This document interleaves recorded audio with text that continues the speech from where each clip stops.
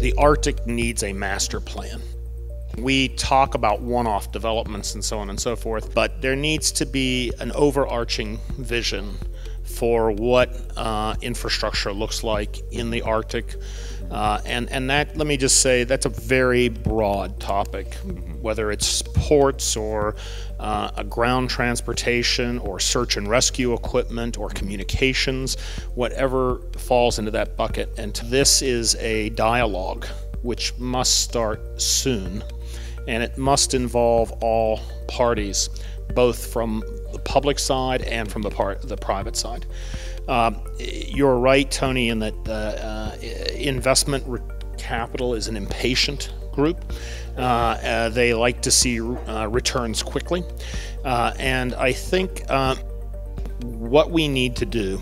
uh, in addition to developing this this overarching master plan for the Arctic, and I'm, and I'm not talking about, you know, a group of uh, you know nine men getting in a room and strategizing. I'm talking about developing a format or a forum to open up a dialogue so that we can get a sense of what uh, all of the uh, uh, the needs of the Arctic are, and we can start to sketch out what this looks like and what it's going to cost.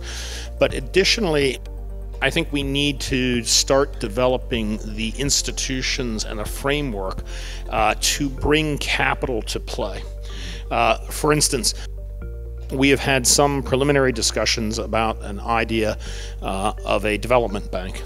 Uh, development banks like uh, the European Investment Bank or the EBRD uh, are institutions uh, which are not so concerned about instant return, uh, but are there to help uh, stimulate private investment by reducing risk and taking some of, of that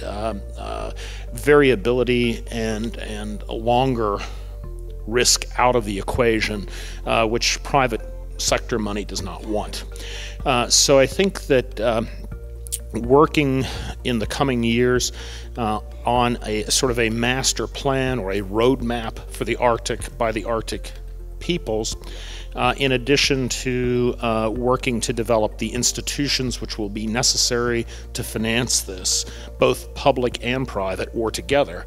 uh, is, the, is probably the leading challenge that people like me have today.